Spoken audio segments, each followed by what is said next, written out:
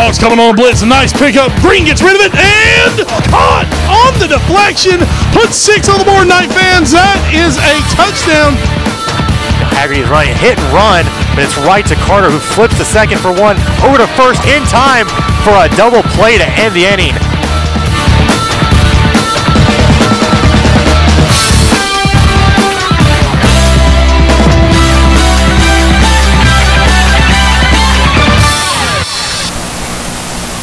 And good evening, ladies and gentlemen, and welcome to the All New Sports Show brought to you by Roger G. Taylor and Associates right here on WHIG TV. Folks, my name's Wes Bradshaw.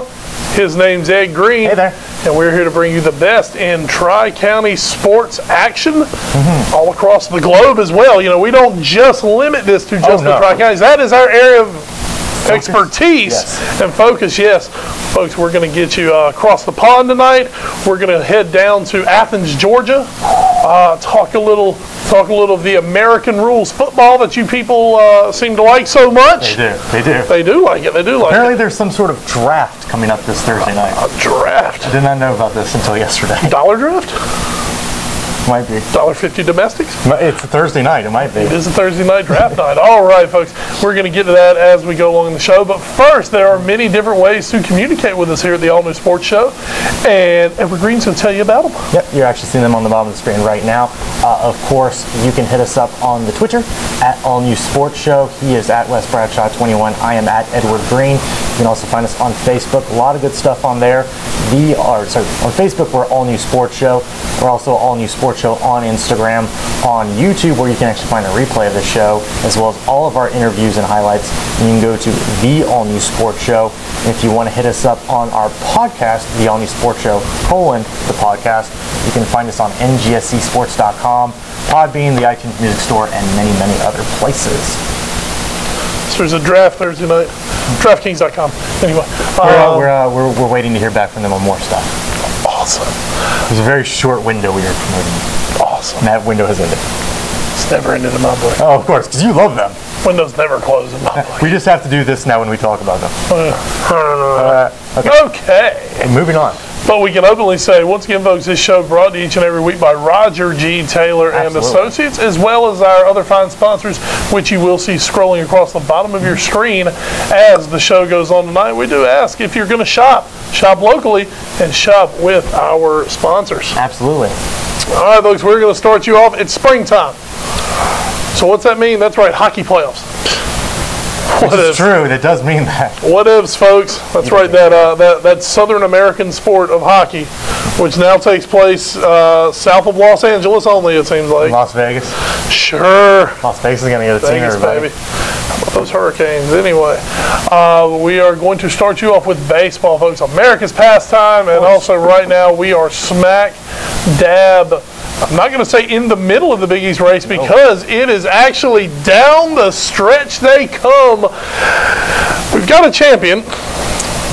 Paper champion right now. Paper champion, need one more win to secure everything. But, folks, the battle for the second, third, fourth seed in the Big East is electric. Oh my goodness. Hunt, Northern Nash, Rocky Mount, all still within striking distance of that two seed, which usually in the playoffs, the two seed's going to get you a home game in the first Yes. round. And the way baseball's been this year, that's big. Folks, we start with Fike. The Golden Demons of Fike, they lead the Big East Conference right now. Kind of a surprise leader of the Big East. little bit. We felt they were going to be stronger this year. I think a lot of people, us included, really felt this was going to be the year Northern Nash took control of the conference and kind of ran it from day one. The pitching's been there for the Knights. Uh-huh. Well, it's kind of it's kind of been a weird combination. Some games the hitting's there, some games the pitching's there. They're trying to get them both there at the same time. And it'll be really Uh, good. yeah, that'd be really good, but sometimes that is eluding the Knights. But taking a look right now at Fike, they are red hot Nine wins in a row. And uh, they've got two big ones this week. Uh, like we said, they basically need to win one of these next two, and they are the conference champions. They sit right now at seven and one. Nobody can catch them with one loss. Everyone else has at least three losses. So uh, one win this week. Fike are your conference champions, but it's not going to be easy, Ed. No, absolutely not. They have uh, a home date with Northern Nash coming up this Tuesday, and then on Friday, the Wilson County Derby at Hunt this time, where they did go and get a, or sorry, they had a home win against them just a few weeks ago, 2 nothing. And I think more to your point, Wes, on this nine-game winning streak they're currently on, you know, in a matter of about three days, they played Nash Central twice because they had to do a kind of a makeup game. The first time at Nash Central, they win two to one. The second time they come home to play Nash Central three days later, they win 8 7. This is a team that can do it either way. They just haven't that often found a way to do it both ways yet this year. They did have, of course, a big 15 to 2 win at Southern Nash. Southern Nash not the top competition though in the Big East, although they may end up not finishing last if they, depending on how this last week goes.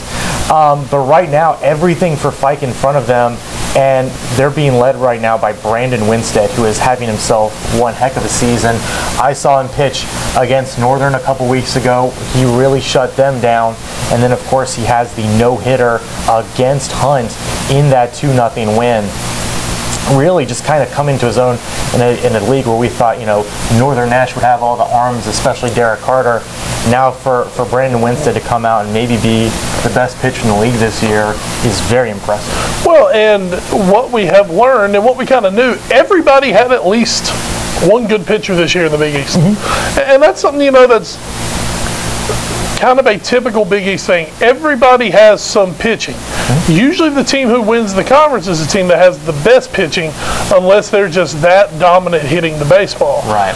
Over the last few years in high school baseball, dominant offenses have taken a back seat. Yes. Mostly due to the change in the bats. The BBCOR has really killed off a lot of those.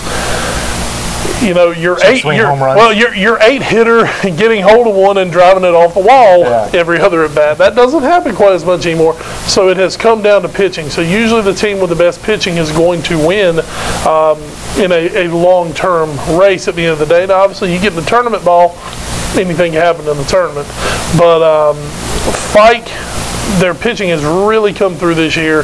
The offense has done uh, well. I'm not going to say they've been. They, I'm not going to put them in a good enough to win category. I'm going to say it's been a good offense this year.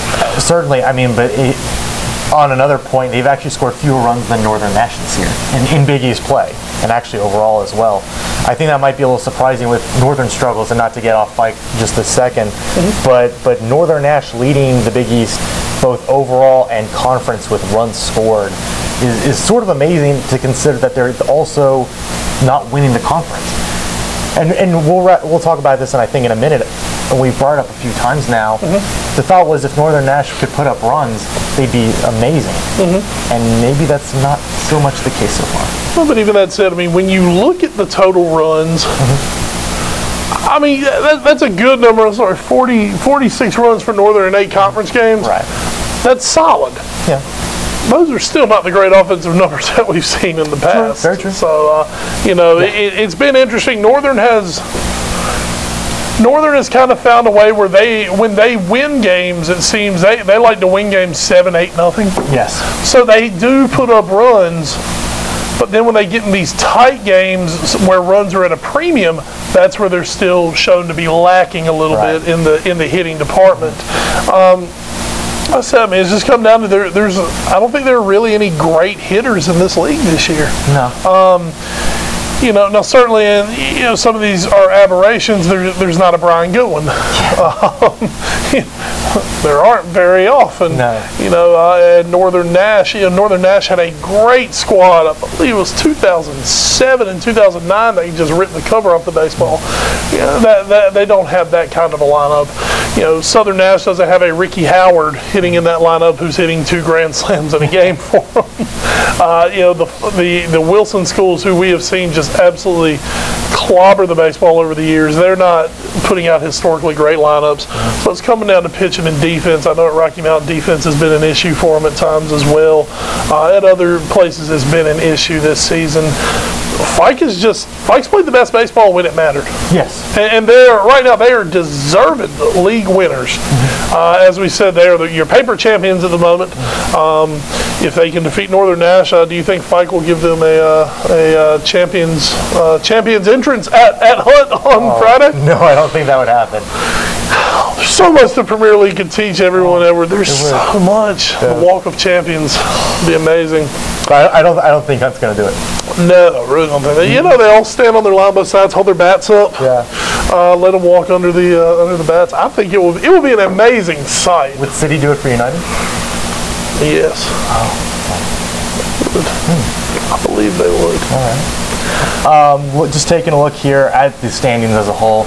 Uh, again, Fike does lead the conference at seven and one. Northern Nash right now in that two hole at five and three. Hunt and Rocky Mount tied four and four in conference play. Southern Nash and Nash Central also down at the bottom. They're both tied at two and six, which is kind of amazing, I think, for Nash Central losers of eight straight. When you remember the first uh, week of Big East play, they, I believe, beat Rocky Mount two to one to open the conference and looked great doing it. And they've only gotten one more win since then. It was against Northern Nash. yeah. So Take from it what you will, folks. basically, Uh, Northern Northern control their own destiny. Definitely in that two spot. They do have the one game lead. Um, Rocky Mountain coming up on Friday night, as you said. Fike on uh, Tuesday. Um, so Northern. I really think this week could spell a lot for them coming up. If they can get two wins this week, that sends them into the playoffs on a high note. Um, they they go then in. also have the Big East tournament so next week.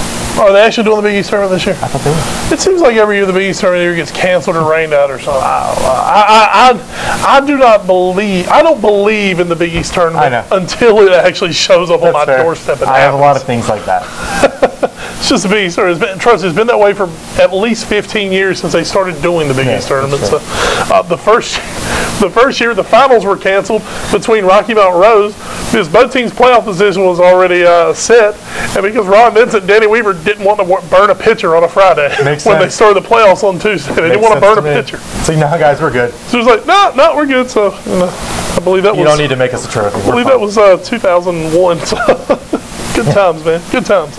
Um, Rocky Mount this week.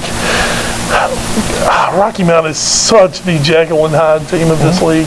You don't know what you're going to get. You're either going to get good Rocky Mount, which is strong pitching, timely hitting, decent defense, or you're going to get Rocky Mount who gets home stolen off of them twice in the Yes. same inning. You guys saw last week in our moment of wow. Wow. Uh, that was in the, the first edition of the North Rocky Mount Derby for baseball season this year. Northern Nash did steal home twice in the same inning against Rocky Mount.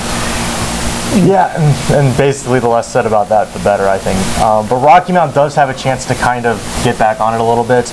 Uh, they do have an away game against Southern Nash on Tuesday, and then, of course, on Friday will be part two of the North Rocky Mount Derby, this time at Rocky Mount High could against Northern. could be huge. Look at those schedules. It absolutely could you, have got to figure. Now remember, this is the Big East where nothing ever happens. What do you think is going to happen? Rocky Mount will be the favorites to go beat Southern Nash. Mm-hmm. They beat Southern Nash. If Northern cannot beat Fike, They're both five and four. suddenly they're both five and four. And Friday night, someone is playing potentially for a home playoff game. And here's the other thing: Hunt. You figure they beat, they go to beat Nash Central. They play you, Fike. you think They play Fike. they play Friday. Fike? So Northern, the most difficult schedule remaining Absolutely. of these teams. Um, Rocky Mountain Hunt, who are also battling for that second spot, on paper should have wins after Tuesday night. Um, and then Friday will be uh, Friday will be crazy. And uh, at this point, we are planning it being on, uh, at Rocky Mount Friday night with the all new sports show, uh, folks. I may be making my season baseball debut. Right, right at the end. My wife said if I get my chores done, I can go call baseball. So thank you, honey. uh, so so we'll cute. see how that works. Uh, we have a birthday party on Saturday. It's That's the, true. It's the princess's birthday is on Friday. I so love it. Um, I tell you so what, we're hoping to bring you that game. Wes, Fike doesn't have an easy road either to the championship. No, they don't. I mean, you say Northern probably is not favored in their game against Fike, but there's also no reason they can't beat Fike. No, no. And you know, then they have to go up against Hunt at Hunt in that rivalry game where Hunt could be playing Not only not only to spoil their conference championship, mm-hmm. they could be playing just to even maybe get in the playoffs. At this point, I mean, because it's only top three guaranteed. Fourth might still get in. but look at those overall records this year. Yeah, that is good. where that is where the loss of the non-conference games due to the rain is going to come back and bite somebody. I mean, you look at Rocky Rocky Mountain played four non-conference games. Yeah. Four, I believe it was four. it might Well, have at the beginning three. of the season, then they Yeah. got their, their Easter games in. Exactly, but I mean, they lost at least four games due to rain. Mm-hmm. And, and those are games, yes, they could have swung either way. Yeah. But I mean, that's that's brutal, man. When suddenly at the end of the year, now you know they always say, well, the non-conference doesn't matter. Y- yes, it does because of the wild card. Yeah. So you know that could make or break somebody. So it's it's definitely definitely going to be an interesting run in to Right. the week. Uh, but we're looking forward to it. We're looking forward to some really good baseball. Um, forecast this week looks like Wednesday and Thursday might get some rain. So Tuesday's looking good. Friday's looking really good.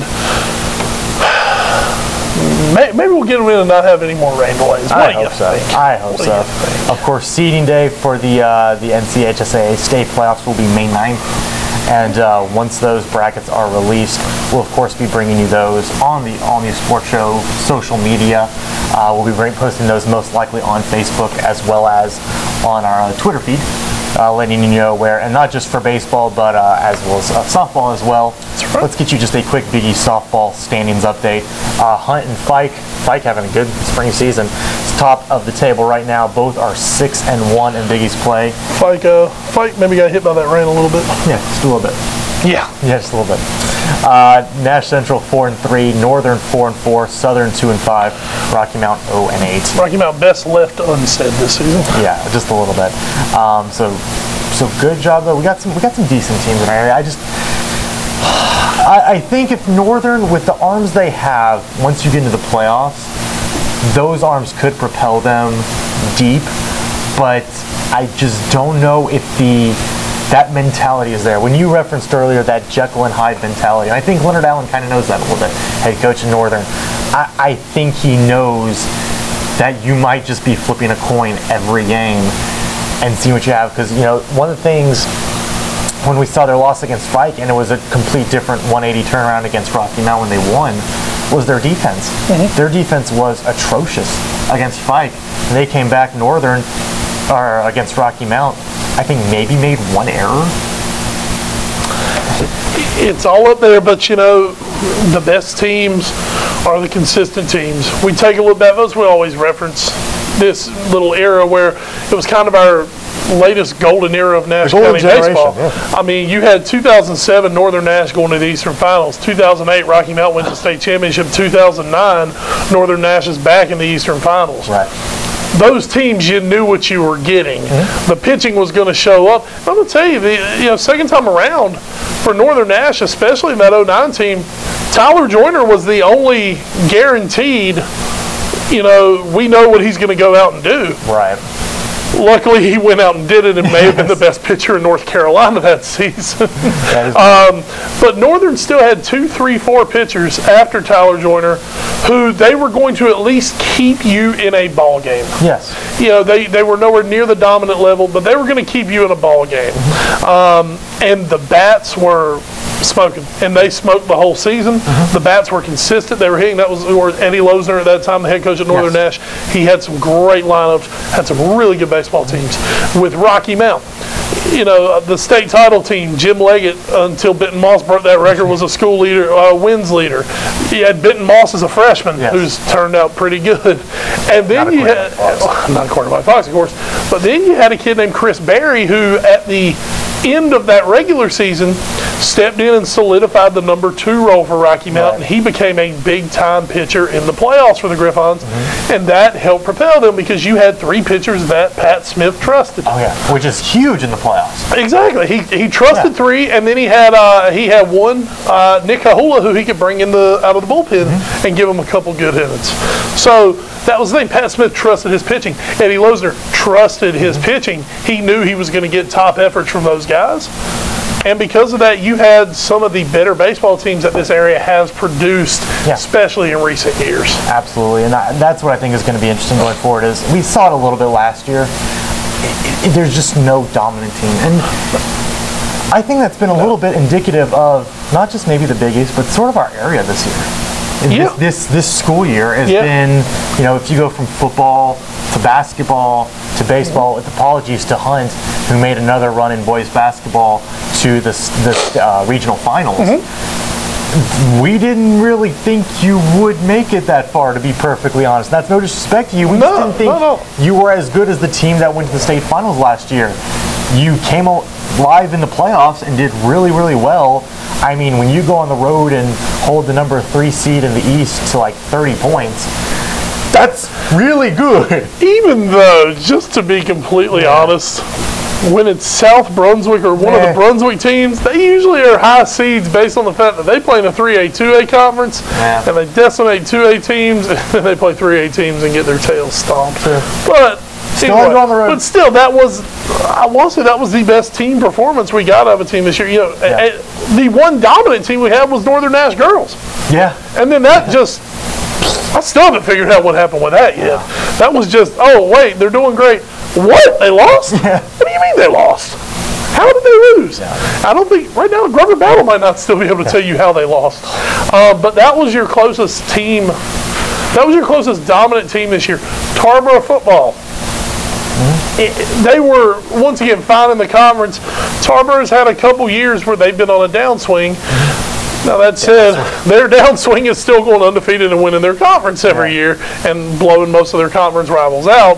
But on a, you know, they're they're more like they are more like Manchester City. If we want to get our level, Yeah. yes, we know you can be dominant in the league. Yes. What do you do in Europe? Go year one Europe. Go win Europe.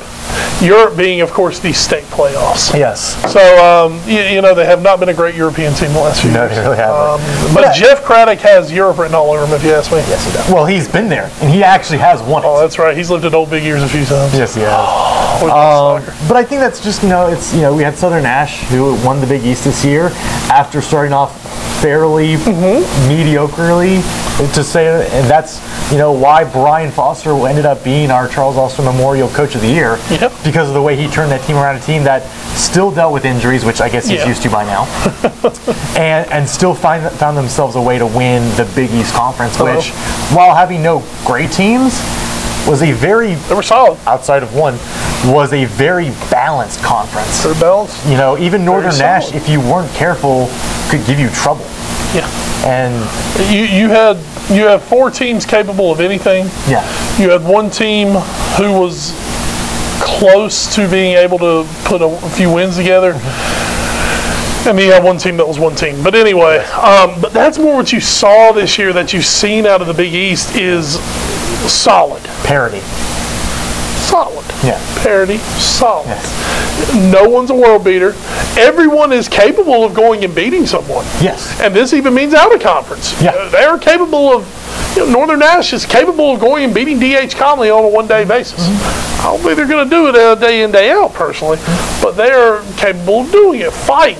Oh, Fike certainly. If, I don't. capable. I don't think we, we expected them to win the game they lost in the other state playoffs, but it wouldn't have shocked us if they did. No. I think it was Northern Guilford they lost to. Yeah. So, you know, I, we wouldn't have been surprised if they had beaten them. We also wouldn't have been surprised if they lost. It was a very even matchup. There we go. and that's that's kind of what we're seeing. I think I think a little bit west. We just we kind of Tarboro just kind of spoiled us for a few years. Tarboro and Hunt being as dominant Oh, as they were well, on yeah, the gridiron. Yeah, Rocky. Mount being as dominant as they were, and, and then And. Hunt coming right after them and going to a state championship game. Yeah, we just we, we've had a great run here in the the tri counties, where you know Nash County's been good at something, Edgecombe's been good at something, Wilson's been good at something, Yeah. and it, it it has. It's been a lot of fun. It's been a great ride. Um, but right now, it's kind of we're in a coming back to earth state. Yes. Now that said, don't don't quote us for 2015, 2016. No. Because the craziness could be right back. Hey, really. I hear I hear Tarboro is loaded. yes.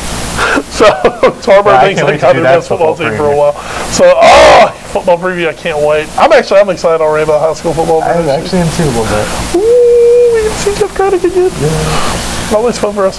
Um, but anyway, okay, enough, enough of that. Enough of that soapbox. Kick my box out of here. Um, folks, we uh, tried to get up with Jimmy Lewis about coming on and talking a little bit with us about the Wilson County stance. Uh, Jimmy just texted me back. He has been at the beach. Aw, good for him. How dare you? Sorry. Um, so Sorry, anyway, we care about this show more than you do. Totally. Yeah. uh, but one thing we are going to ask Jimmy about was the uh, Fike had their Hall of Fame induction. Yes, they did. This coming up uh, this past week. Um, and Ed, you've got the story up from uh, Paul Durham, Yes. sports editor of the Wilson Times. And why don't you let the folks at home know a little bit about what happened at Fike? Yep, three members of the uh, 2015 induction class actually came from their uh, championship basketball team from 1983-1984 season. Uh, Dr. Brian Harris, Charles Howard, and John McNeil. Again, those three guys going into the Fike High Athletic Hall of Fame uh, this past Saturday night, and uh, very, very big moment for all of them. Um, George Wainwright also entered the Hall of Fame. Uh, he has the most impressive postgraduate resume of any of the 66 members, according to Paul Durham. He was uh, an exceptional football player, a pretty good basketball and baseball player. Um, he also then went on to the University of North Carolina on a Morehead scholarship, which, you know, haven't had anybody that lately, Ben Moss. Uh, after graduation, From, kid from Rocky Mountain Academy this year. yeah. Uh, after graduation, he managed a successful agribusiness real estate insurance company in Wilson before going to Wake Forest University School of Law in his 30s. And then he went on to become a district court, superior court, and North Carolina Supreme Court justice. I see you going to law school in your 30s. Really? I could. I can Do that. I need a, I need someone to retainer. Yeah. I'll go. I want to go study business law and then become a general manager. You can hire me to do your announcing. I would. Future is set. Do you, th- you think? Uh, do you think? Um, what, uh, what's his face over at Boston would hire me? Cherington? Yeah. Dude, he'd hire you and then you'd uh, usurp his power. Yes. And then, and then my I install you as the Fenway announcer. And don't forget who comes to Fenway every few years. The Mighty Reds. I know you'd love that. Uh, also, uh, Jimmy Tillman, former Fike principal and current athletic director of Wilson County Schools, also went in. Um, he was inducted by Richie Pridgeon on the night. Uh, and again, there's now 66 people in the hall. We talked about three in the beginning. Uh, eight went in this past Saturday night. Um, there were also a bunch of previous inductees at Saturday's banquet, including Ken Boykin, Walter Brown, Carlester Crumpler, who Crump. Crumpler, He's power, baby. Algernon Darius Crumpler is his son. Gilbert Farrell, Trisha Farrell, Frank Galloway, Lee Gliarmis, who uh, we actually got to talk to when he went into the North Carolina State Hall of Fame this past year. Man makes a heck of a hot dog. I also I would appreciate it if he got a credit card reader, but besides that, he makes a great hot dog. We don't ask for much here. We don't ask for much. Just uh, know that next time I might not be able to pay for my meal. Uh, Dr. Yeah, that's true. Dr. Tyson Jennett, Bob Paroli, William Pyler, Lennox Rawlings, Russell Rawlings, Janine, Jenny, sorry, Edmondson Robertson, Mo Ruffin, Henry Trevathan, Dennis Wilkerson, and George Wilkerson. Uh, Henry Trevathan, of course, head coach of three straight state championship teams at Fike, uh, where Carlester Crumpler was his best player.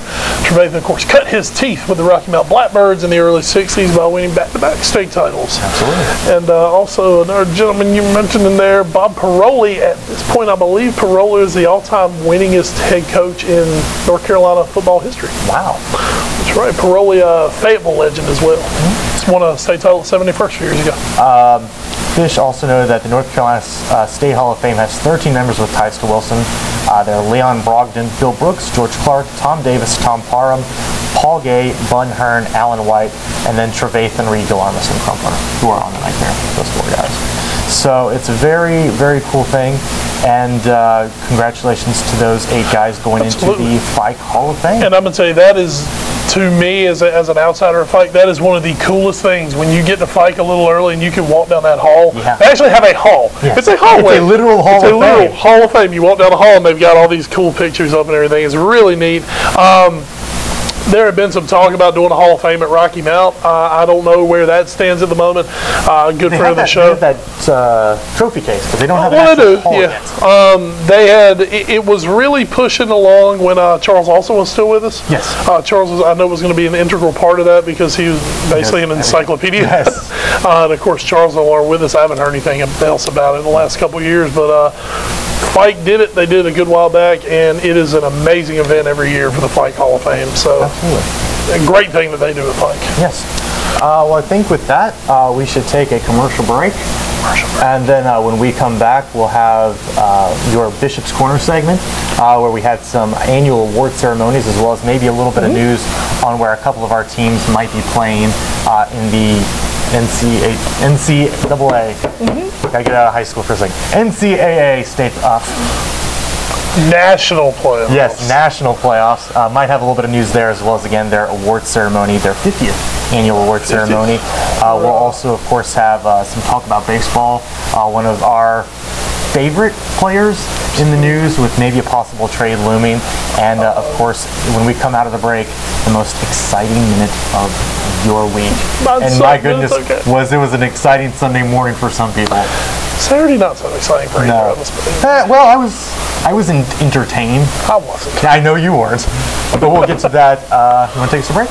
Absolutely, folks. We are going to take a quick break. This is the All New Sports Show brought to you by Roger G. Taylor and Associates. We'll be right back here on WHIG TV.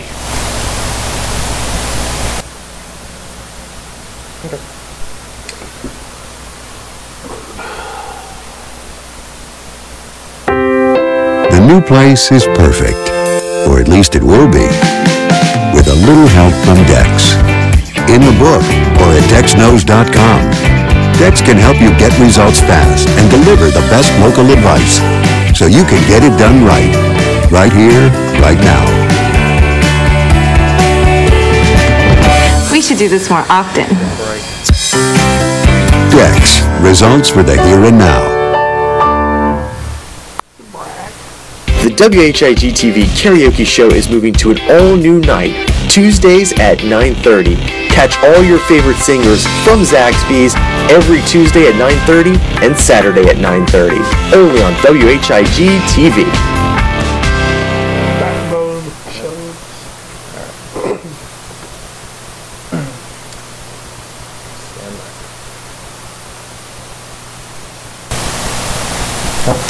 Folks, we welcome everyone back to the all new sports show brought to you each and every week by Roger G. Taylor Associates, right here on WHIG. WHIG TV. We both speak English for a living. I speak uh, English.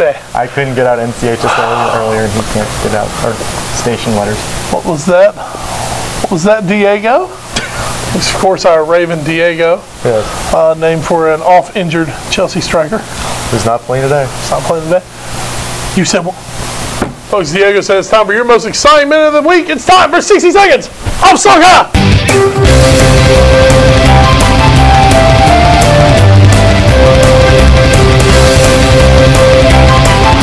the team who came back from the dead.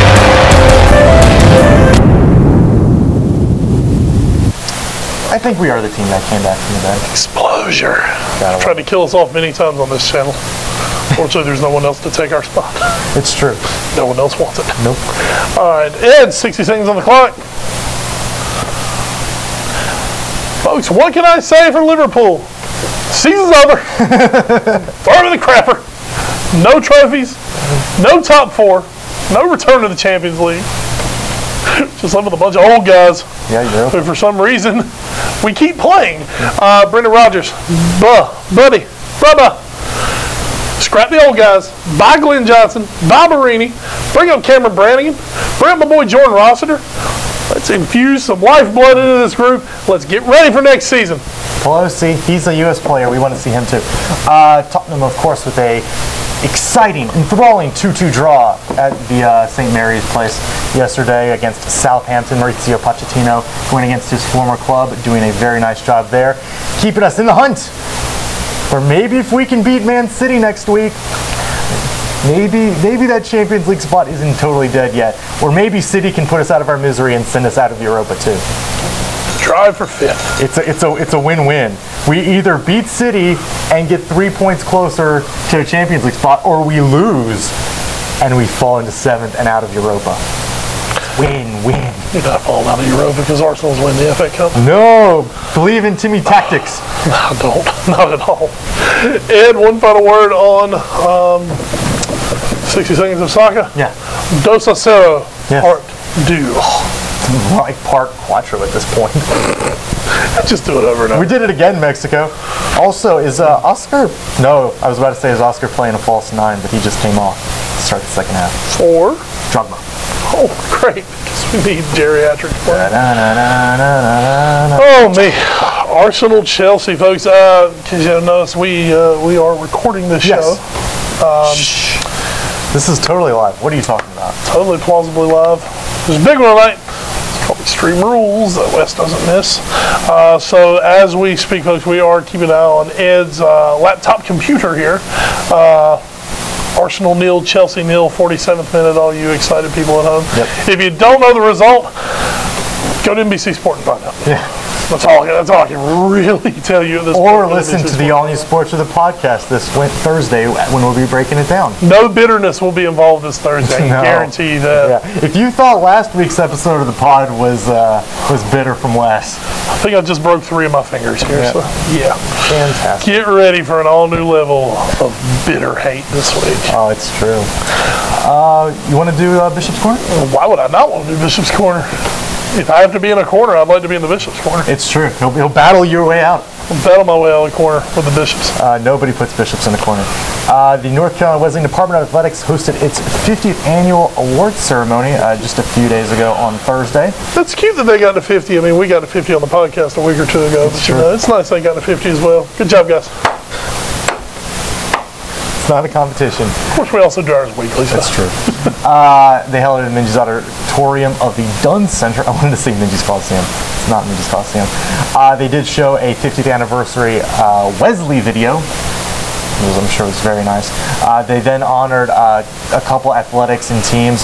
Uh, North Carolina We- Wesleyan College boasted 41 USA South All-Conference selections, four Players of the Year, two All-Americans, four USA South championships, and two NCAA tournament berths, which I believe are both going to one sport.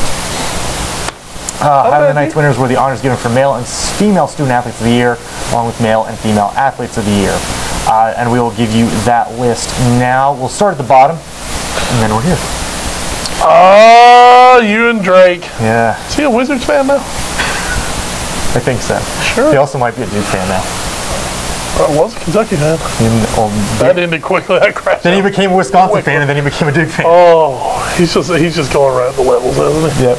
Great. Uh, let's start at the bottom. Men's tennis. In the bottom of the list. We don't mean in terms of importance. No. The bottom of the list. Can work all the way up.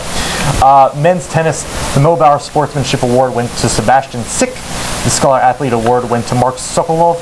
And the Most Valuable Player win, Award went to Robert Kielberg. Three fine, upstanding local lads from North Carolina, I'm sure. The, the Nordic, uh, the Nordic Nadals. The Nordic connection. Uh, women's, women's tennis, the Mo Bauer Sportsmanship Award went to Valeria Bar- Berber. The Co-Scholar Athlete Awards went to Rachel Hui and Fernanda Orona. And the Most Valuable Player Award went to Natalia Lopez. We have the Latin connection in women's tennis. the Latin Nadals, Latin Nadals. which is sort of redundant. Latin Nadals, because the Nadal is the Latin Nadal. Yes. Anyway, continue. Uh, softball, the Mo Sportsmanship Award went to Abigail Leonard. Scholar Athlete Award went also to Abigail Leonard, and the MVP Award went to Jasmine Edgren. Uh, in golf, the Sportsmanship Award went to Matthew May.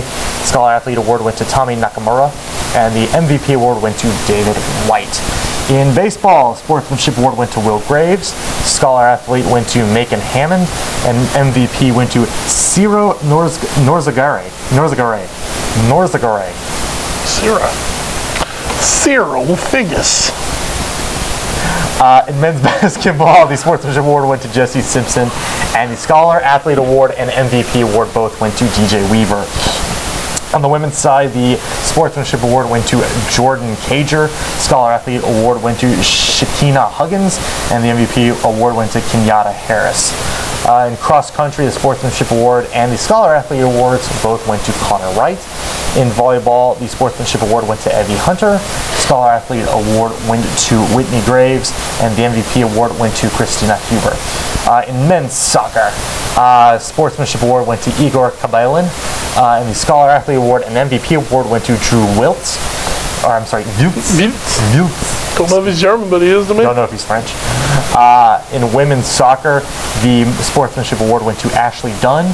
Scholar Athlete Award went to Sarah Olsowski, Absolutely. Ospina. Own it, baby, own it. And the MVP award went to Rebecca Staylor.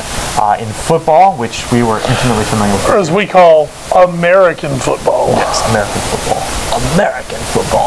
Uh, the Sportsmanship Award went to Albert Rayner. Scholar Athlete Award went to Dustin Midget. Uh, the offensive MVP was Jock Alston. Shock. Defensive MVP was James Wallace. Shock. Sure. Uh, the co-male athletes of the year were Jock Alston and Robert Kilberg. Uh, again, that Nordic connection. Female athlete of the year coming out of women's tennis was Natalia Lopez. Yeah, Jack Austin, nothing about Nordic. All the way from Kinley. Yeah. Home of the Nordics. the male, the male student athlete of the year was Drew Viltz and men's soccer, and the female student athlete of the year was Rebecca Staylor. So congratulations to all of them on their awards. Uh, we want to get a little more information. Uh, the Battling Bishops men's tennis team is not quite done yet, though. They had a win against Johns Hopkins uh, this past Saturday, winning 8-1 up in Fredericksburg, Virginia. I'll tell you what's wrong in Johns Hopkins right now. They banned Chick-fil-A from the campus. Yeah. It's going to do nothing but anger student athletes who love Chick-fil-A. Yeah, that's what's wrong with them. Uh, the, the, of course, with this uh, awards banquet, most teams now have wrapped up their seasons. Uh, women's softball ended their run at the USA Tourney, losing a pair of games to Huntingdon and Averett. Uh, were you on the call for either of those night? Favorite, favorite, favorite number one seed came into that game 31 and one. Oh, that's pretty good. ranked I believe 15th in the country. Um, they looked it. they looked it. good team. Uh, so their season ends there. Uh, the men's team uh, also ended their season at the Spring Festival. No USA South baseball tournament. call, we call it the spring fling. The spring fling. Uh, they lost a series to Methodist 8-3, 8-3, 11-1 to close out their season at 10 and 26 and 8 and 20 in USA South play. They wrapped up their golf season at the USA South Championship. They finished, uh, which was held at Benvenue Country Club here. They finished eighth place, uh, finishing, I believe, just six strokes behind Aver for seventh. So tough, tough break there for the guys. Um, they were paced by David White, a freshman, who wins 75, 74, 81, and he finished 21st overall individually. Uh, but then it, the uh, the tennis team saved the day for you, uh, Wesleyan. They picked up a pair of awards. The Wesleyan men win their seventh straight tournament crown Nordic. and had four people on the all tournament team. Uh, they were Andres Gomez, Fernando Nardelli, uh, Fabio Pereira, and of course Robert Kielberg. No mixed discarud. No mixed discarud. Okay. Uh, the women's tennis team claimed their first title, uh, and we'll have to Women! and uh, they put also four people on the all tournament team: Rachel Queed, Natalia Lopez, Sofia Gonzalez, and Valeria Barber. So congratulations to them. Uh, we'll see. Latino Heat. Uh, it looks like we will not get seedings on them. They're both teams when they go into the NCAA tournament until about early May. So we are still waiting on that. However, we do know uh, that their uh, tournament will be starting May 8th. It's my birthday, Which- folks. Happy birthday to Wes. Happy birthday to Wes. We should go cover the, them at the NCAA regionals. Somebody wants to pay for it, I will definitely go do it. Women's, of course. Women's tennis. Ladies. We'll do. We'll do. I'll do Nordic Messi. That's fine. I'll do the Latino Heat. Is that what we're calling them now? Absolutely. So A that's hot name, Latino that's going to do it for uh, Bishop's Corner here on the day. Congratulations to all the award winners. Congratulations to the fine teams we had this spring season, and good luck uh, going up to the uh, the men's and women's tennis teams as they progress in the NCAA tournament. And your winner of the ladies softball tournament this year, the adopted team of the Albany Sports Wait, Show. really? LaGrange gets it done. They beat Averett? Oh, dude, Haver got knocked out. Um, somehow they're quarterfinals. Oh wow, Yeah. LaGrange. the great. LaGrange. What what were the Even, even, even though they're were they? uh, four seed this year. Wow. Even though their coach, uh, literally every inning, if her pitcher gave up a hit, she came out for a visit to the mound. Didn't get annoying at all. Sure it didn't. Didn't get annoying at all. I'm Granger champions this year. I'm sure it didn't. But again, if you want to go check that out, uh, either visit ncwcsports.com or visit usasouth.net. Uh, they'll have they have video recaps of the tournament weekend, uh, and you can also Just softball video recap. yeah. Wonder if it has any of uh, Wes Bradshaw's announcing of the. Uh, We'll, we'll take a look later. We'll take a look later. It might. you look, I'm not. I'm so self-conscious of Yes, you are. You're, you're just you, you can't handle it. That I'm completely lazy. That's true. Um, so, of course, big news coming out of Major League Baseball this past week. Uh, hasn't been officially announced yet.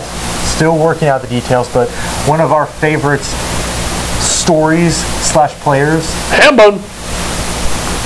Josh Hamilton. Hambone. Oh, okay. I didn't know that's what he was called. That's why he's one of my favorite players. By me. Uh, well- oh, just you. Well, maybe, I, I, I seem to remember someone else calling that. I may be wrong. One other person. Uh, Josh Hamilton, of course, the embattled outfielder for the Los Angeles Angels of Anaheim, uh, just had a relapse this past offseason. And now the Angels trying to desperately, Unload him. yes, that's that's the actual term. Shed salary. Yep. Uh, he is might be going back to the Texas Rangers, where he broke into the big leagues. And it's going to be very interesting to see how. Well, well, we'll say he got his. He had his best years as a Ranger. Yeah. Broke in actually Yeah, for the Tampa Cincinnati Bay. Reds. Oh, I thought he broke into the Rangers. Never met for Tampa Bay. And then um, Cincinnati got him. I believe it was a Rule 5 and um, had a had a really good year in Cincinnati. And then uh, they traded him to the Rangers. Yep.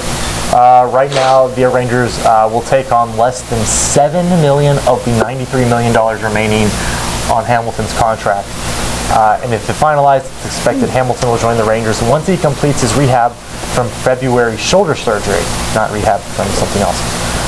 So you're paying less than seven million to get potentially a guy who is a former MVP and potentially still has that ability. That's good business. Rangers are not known for good business, but that's good business. Absolutely, that you know that's it's it's basically a fire at that point. You're not well. You got nothing to lose for less than seven million bucks. No. Um, and of course, uh, Hamilton made news when he was still there by saying the Rangers don't have real fans. Taken slightly out of context. But hey, he might be going back there. We'll find out how that context was taken as soon as he shows back. Yeah. So it, it's been a rough time, but it's. I, I think it's needed because the Angels. We talked about this on the podcast. Didn't the front office didn't really seem like they wanted him anymore Pretty after. clear, I believe. Yeah. It's like, we don't want him. Basically, that was almost their exact terms. Yeah. Uh, they, I'm pretty sure they didn't want him really after he really underperformed last year after signing a gigantic contract extension. Which, by the way, Anaheim, that's kind of your fault. Those never go wrong pay, paying guys in their early to mid 30s uh, massive seven, eight year contracts. Those never You go literally wrong. have Albert Pujols playing first base from you, getting injured the first year in his deal, and you say, you know what we should do? We should give uh, Hamilton max contract. Not another guy. The only person that max deal works for uh, over the long run is Alex Rodriguez, and that's because he literally has to take a year off. Yeah. Yeah, if he hadn't taken last year off, mandated, of course, by Major League Baseball, not just an idea, uh, you know, he's probably broken down this year too. Absolutely. So that's what's kind of going that an on. Olsen twin? No. Oh, okay. That's what's going on with the whole Josh Hamilton story, and of course, we we hope he gets better. And Absolutely. We, we like seeing him on the field. Uh, I mean, still to this day, the 2010 uh, home run derby in New York, Oh my gosh. maybe maybe one of the greatest achievements ever. The best, uh, I would say definitely one of the best power displays of all time. Oh, Marcus Smart overslept. Uh, but just a fantastic power hitter and a guy with so many tools that you, you just pray that he can pull it back together Absolutely. and uh, make it through there. Uh, quick look at your Major League standings. Right now, a logjam in the American League East. Uh, all five teams separated by just two games. Uh, Yankees. Rays, Red Sox all at 10 and 8. Blue Jays 9 and 9. Orioles 8 and 10. Fun year in the East. Yeah. It's going to be a lot because no one has great pitching. Everyone in that can divi- division can hit. Yes. Um, Yeah, that's going to be a fun year. We're just going to see 10-10 games all day. It's not going to be fun for me because I'm going to be sitting there biting my nails down to the quick. Uh, Kansas City leads the Central right now in wins and in uh, ejections. Suspensions, It's a feisty bunch. not non-drug related suspensions. Yes, non-drug. That's very key. Non-drug related suspension. Uh, they're followed closely by Detroit, though. They're just one game back. But Minnesota, Chicago, and Cleveland. Chicago and Cleveland, both of, I believe. Did you end up picking Cleveland on the only Sports of the podcast, or did you No, pick Detroit? I picked Detroit. I, I didn't even pick Cleveland in the playoffs. I just said I think they could have a really good year. All right. Six and ten, that's not hard. Not not out of the woods yet. It's still early. Chance, chance to come back. Uh, and Houston leading the West. Yeah, that won't last long. No. And currently Seattle right now in fourth place in the West. Team I believe we both picked to win the division. It's okay. I'm fine. You know what? To be fair though, just quick tangent. Uh, if the season, the Barclays Premier League season ended today, I would have picked the uh, the relegation zone exactly right. Nice. Sunderland, QPR. Nice. Leicester. Foxes. Uh, the New York Mets, surprisingly to some, lead the National League East. Matt Harvey. You can't you can't pitch Matt Harvey every day though. But they know every fifth day they're going to get Matt Harvey. It's true. So they're like, well, all we got to do is scrap out wins the other days, and Matt Harvey will win on the fifth. Yeah. Uh, Atlanta's currently in second at nine and eight. Miami and Washington. Washington, your preseason World Series favorites, No problem with that. seven and eleven. Not not abandoning that ship at all. Shit. So I said ship. Yep. Ship. Not abandoning ship at all. Nope. Nope. right. Yep. Right. St. Louis Cardinals, 12 and 4, uh, leading the Central. Chicago 9 and 7, Pittsburgh 10 and 8, Cincinnati 8 and 9, Milwaukee 3 and 15. Didn't I actually pick Milwaukee to win the division? Did you? I Panicked on the Central. I just uh, for some reason the name St. Louis Cardinals would not have come. to, I'm gonna have to. Uh, You had to re-listen to it. yeah, because I feel like you didn't. I think you might have picked St. Louis. I really hope I did because I know that's what I would have meant to pick. Uh, and in the West, it's the Dodgers leading the way, Colorado and San Diego right now in second, Arizona in fourth, San Francisco in last. Chance. Right now, the uh, the wild card scenario. Well, you're not going to do the wild card scenarios for me. You're not going to. I don't, I don't think they're really doing wild card yet. Why not? Thanks, ESPN. yeah, because That's why I never. no one needs it at this point. Well, we do. I was about to give them, so I kind of do. There you go. There we go. Wild card. MLB.com has my back. Thanks. Who's, who's, who's already given up on the division and is up already for the wild card? Uh, right now, Kansas City, uh, technically in the wild card slot. Um, that, that, that's last year's standings. It's 2014. 2015. Once again, no one is doing wild card yet. The wild Well, are they even doing standings then? What did it say? Okay, 2015. There we go. There we, yeah, maybe they're not. Heck yeah, they are. No one's doing wild card yet, man.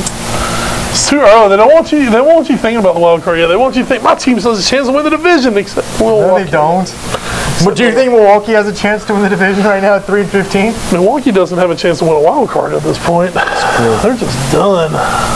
They're bad. They need to. Oh, they need to unload Ryan Braun, which I'm sure that'll be easy to do with his gigantic contract. And his history of PED usage. Yeah, it's not a bad thing. Them. Uh, What do you think, Diego? Horse placenta, you say? We got about uh, we got about five minutes left in the show. Man, what are we talking about? Uh, you want to talk about NBA playoffs and how Marcus Smart showed up late today when the Celtics got swept out of the playoffs by Cleveland. Or we talking about how much we love Todd Gurley? We do love Todd Gurley. You want to talk about the NFL draft? God, yeah, screw the NBA. That's crap. And the NFL isn't? No, not when Todd Gurley's going. Well, that's you know what you know We're not- what We're not really talking about the NFL. We're, we're talking about Todd Gurley. you know what. Fair enough. Thank you. That's, that's Point fair. made. Folks, this Thursday, the annual uh, cow call begins for the what we call NFL. Sure, cow Sure. call.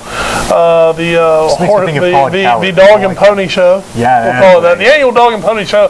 No, it's the NFL draft begins this Thursday with the first round televised live on sure ESPN Everywhere. or something. Yeah. But whatever. Don't watch it. We'll be we'll, we won't be live tweeting it, but don't watch it either. I will be live tweeting one name, Yes, one name will. only. And until he is picked, I will tell every team how they have screwed up and not picked the right player. Except the Jets. Don't tell them they screwed up. No, not they the make the right call. The Jets need to take anyone but. Uh, unfortunately, I've now seen him on two mock drafts go with the Jets. Folks, Todd Gurley, your uh, all everything, Mr. Incredible, um, Superman slash Batman slash uh, the Flash slash Captain America. Slash. Oh, slash uh, Captain Kirk. Okay, whatever you want to. Uh, all in one. He's back, folks. That ACL injury, don't worry about it. It's good. He's good. He's good. Guess what he can do now? He can fly again. He's got his moves. It's going to be fine. Todd Gurley has gone from, uh, you know, I believe it was November when he when he hurt his knee. Yeah. We were saying, well, you know, maybe someone will still take a flyer on him in the second round. Todd Gurley has now shot his way in about the top 10 of the draft again, folks. Uh, mock drafts, I've seen two this morning, having gone number six to the New York Jets. Yep. That was uh, Todd McShay's fifth mock draft. the. Other I've seen is number five, number 10, excuse me, to the St. Louis Rams. Which I'd be much happier with. Much happier with, much happier with. Um, just, oh, the Jets. The Jets are just there to ruin careers, and we sure don't want that for Todd Gurley. We want Todd to be awesome. Uh, if Todd Gurley is indeed a first round pick, uh, folks, if I'm wrong, hey, shoot us something at the Twitter page Yeah. at, at All New Sports Show. Yeah. Right, you got it. Thank you. Two, three years on, I finally figured out the Twitter page. for you. Folks, shoot us something at the Twitter page, but I want to say Gurley will be the second Twin County, that's Nash Edgecombe County, player selected in the first round of the NFL draft. The other, of course, a little guy you may remember by the name of Julius Peppers out of Southern Nash, who was the number two pick in, in his respective draft. Um, yeah, also, if I'm not wrong, I believe Gurley will be the first uh, player from Edgecombe County ever selected in the first round of the draft. Of course, you know, other notable Edgecombe County players, uh, Kelvin Bryant, who was actually not, well, I don't believe he was drafted in the NFL because he went to the uh, USFL Right. um, and played a few years before finally going to the Washington Redskins. Uh, Shaun Draughn, a guy who's played with the Kansas City Chiefs, but he was an undrafted uh, free agent. I know Yancey Thigpen, of course, played in the Super Bowl for the Titans from Southwest Edgecombe. I, I don't know where he was drafted. I can pretty much guarantee he was not in the first round, though, out of a out of a one double A school. But if you know, If you know, if you know someone else, let us know. The only one I can think of from Nash County was once again um, Julius Peppers. J.J. Arrington was a second round pick to the Arizona Cardinals. So we're looking first round guys. If you got us a first rounder, let us know. and of course, real quick before we wrap up, Montrezl Harrell might be going as a first round pick in the NBA draft this year. I think that, I think that is about a, as big of a no doubt as there will be. You know, There's some M- questions well, up here, but yeah. Well, NBA draft is so different because you're looking for immediate impact guys. yeah. And you only have two rounds. And You only have two rounds. Montrezl Harrell's going to be a first round pick unless one of his legs falls off between now and the draft, uh, which with the NBA never, never, never say never. But um, I believe Todd Gurley going to be a first rounder, and um, as a lot of people are saying, maybe the most dangerous offensive player in the draft. He stays healthy. So whoever gets him is going to get a stud. They're going to get a good one. Yep. So that was a lot better than any NBA talk. Yeah, it was actually. Even though uh, Warriors, they're good. Yep, Steph Curry's good. That's going to do it for us here on the All New Sports Show. Check us out on Twitter, Facebook, Instagram. Uh, check out our podcast, uh, episode 52. A full year of podcast now will be available for you this Thursday. Uh, don't listen to the pilot. Um, but everything. Assault! Go, go to ngsdsports.com to find out more about that. Uh, anything else? Um, anything to add to that? Uh, let's check out your baseball this week. Yes. Like said, there should be Hopefully some. we'll be on Friday. Should be some really nice days coming up, especially later in the week. It's supposed to be a gorgeous weekend, go- gorgeous beginning of next week. Mm-hmm. If the mythical Big East Conference tournament actually gets underway and is played this year, go out and check it out, folks. Still some really fun baseball to watch. Hey, the the best thing about this league, you don't know who's going to win. There's no. It's not the old days when it was Rose and everybody played for second. Yeah, you don't have that going this year. Let's go check out some baseball, folks. High school, high school's just about over. You know, uh, Rocky Mountain, I know had their prom last night. Oh, Yeah, Saturday. Yeah, they had their prom. Um, so you know, you're getting toward the end of the school year now. Uh, last time we get a chance to see some of these kids uh, perform, uh, maybe ever. For a lot of them, they don't. They go to college, but they don't go to play, and then they go pro in something other than sports. So says the NCAA uh, um, uh, media Right. bullcrap wagon. Diego, anything to add? Go Chelsea. Ah, whatever, Diego. All right, Ed. So we're looking to be at Rocky Mount Northern Nash Friday night. Hope so. So um, that's what you should look for next week on the show. I'm hoping to make my season debut under the baseball lights. Um, and we'll, we'll have some fun. Yep. All right. It's folks for uh, McManus. Des is his job. Yeah. Is Lee here? Yeah, sure. Why not? One name producer Lee. I haven't seen you, but thanks for doing what you do, my man. Folks, he's Ed Green. I'm Wes Bradshaw. We will see you folks back here next week on the All New Sports Show brought to you by Roger G. Taylor Associates right here on WHIG TV. Good night, America.